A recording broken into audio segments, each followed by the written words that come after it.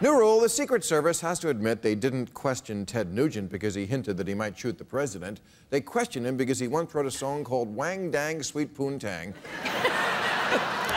they wanted to know where they might find some and how much it cost.